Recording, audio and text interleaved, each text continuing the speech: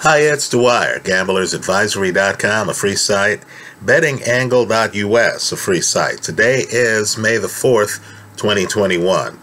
Let's talk baseball, but first remember, the opinion you should follow should be your own.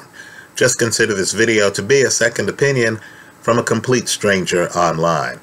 There's one play today that I like. It's Boston at home. You're laying a dear price. You're laying a minus 175 over the Detroit Tigers. This is really more a bet against Detroit than it is a pick for Boston. Detroit is 8 and 21 on the year. They're 4 and 12 on the road. They've lost 5 in a row. They are 1 and 9 in their last 10 games, and on the season they've only scored 2.7 runs per game.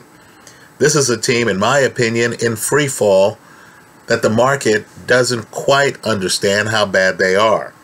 Now, Boston has Nick Pivetta on the mound. He's 3 0. He has a 2.81 ERA. Understand he's been red hot of late.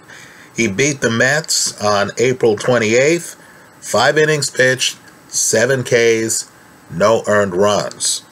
I like Boston minus 175 today over the Detroit Tigers.